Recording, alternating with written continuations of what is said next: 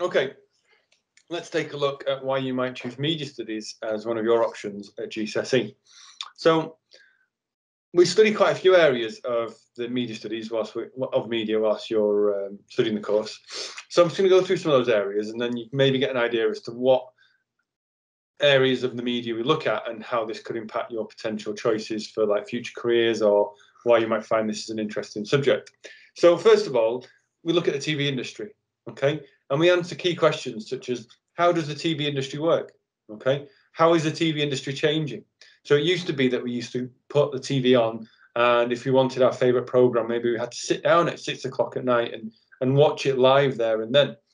And if we missed out then, then and my mate watched it, then I'd have nothing to talk about with him because he'd watch it, watched it at six o'clock and I'd missed it. Now, one of the initial changes then is the fact that we had video recorders, so we could record those TV programs ourselves, and then we could watch them back ourselves later on, or we could save them for another day. Okay, but obviously now, like you know, and I'm talking probably talking about times before most of you were born there, because now everything's just on demand at the touch of a button. This picture there I chose on purpose because it sort of represents just how much choice we actually have. Maybe it's different apps that provide TV now, or the fact that we um, have lots of different TV programs that we can choose at any one time, and it doesn't and it doesn't rely on people watching the same thing at the same time anymore. So we go on the internet, we go on Netflix, and we just choose whatever we want to watch. And the whole series is often there. So then this phrase is like binge watching that have turned up, where we can sit and watch a full series back to back. So we have a look at the industry. We have we have a look at that. We have a look at why things um, have changed that way and how audiences now interact with their programs. We also watch them and think about why you know how a TV program actually works. So we look at who who are the main actors and how is the story being told and how does it how does the writer make it interesting? How does a director create drama so then I'm I'm compelled to carry on watching all the way through the end? How do they create that feeling at the end of an episode where I have to start watching the next episode? So we look at loads of different things like that when we look at the TV industry.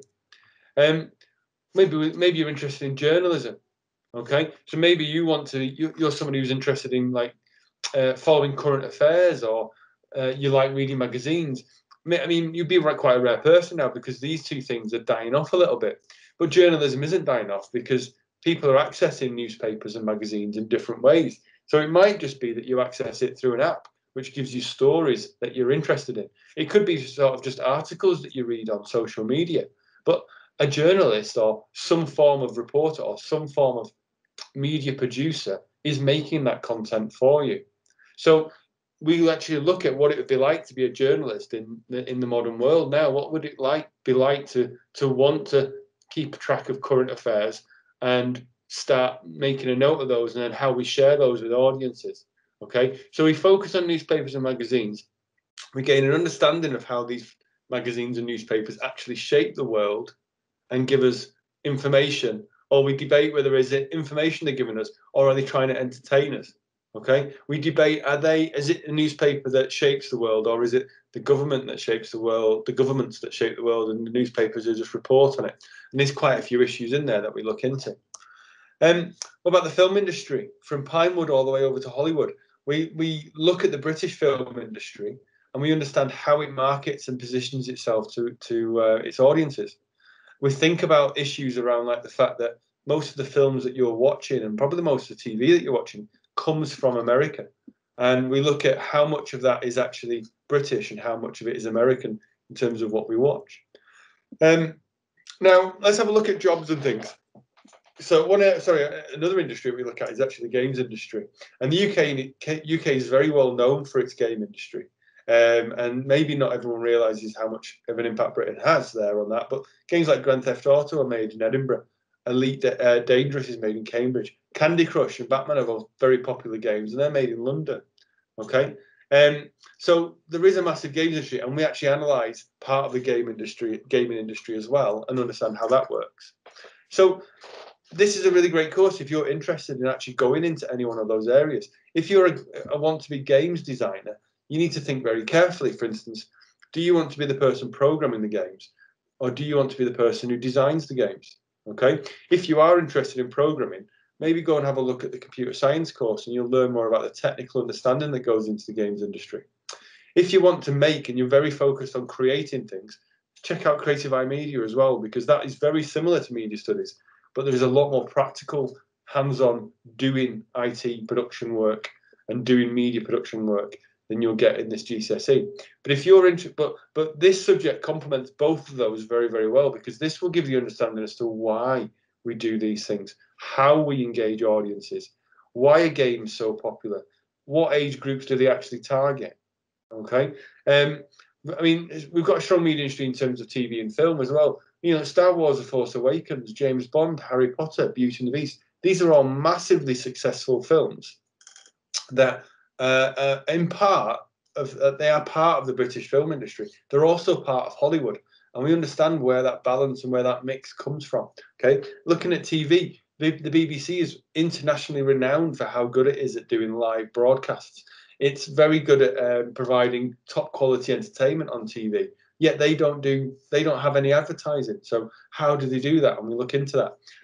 Uh, TV um, productions such as Sherlock, Doctor uh, Doctor Who. In fact, Luther, which is one of the texts that we're studying, we look at into various different ideas of TV and film. But if you're interested in getting into TV and film in the future, this is definitely a subject you should consider doing. Um, then we look into advertising. Now, advertising is everywhere, and this is an example of Times Square, for instance, uh, in New York, where there's you know advertising is known for having these massive billboard adverts all over the place. Okay, um, but actually advertising is in more places than that. It's on Facebook, it's on Instagram, it's inside every TV program that you watch. Okay. And we look at advertising, we understand how the language that they use in advertising is done in a way that appeals to the audiences. But we also look at how um, advertising is, it just pops up everywhere and how it influences these people to do things or how it sells a lifestyle and makes you want to be a part of that lifestyle and believe you have to buy that product to do that. Um, and then finally, one of the main things, and this goes all through every single subject that we do within this course, is uh, within this subject, is the online world. Facebook, YouTube, Twitter. How are they? Why are they so so important? How do they gather information about audiences? How are they used for advertising?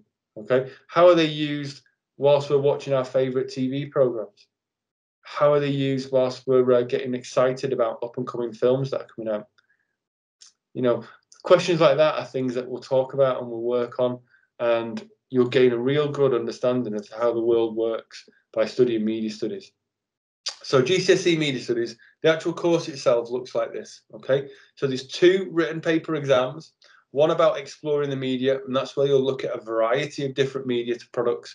You'll learn about how to analyze them. You'll learn about how to look at what makes a typical um, horror film, for instance, or what makes a typical crime drama. You'll learn about what makes a typical magazine. And then you'll be even given something you've never seen before in the exam.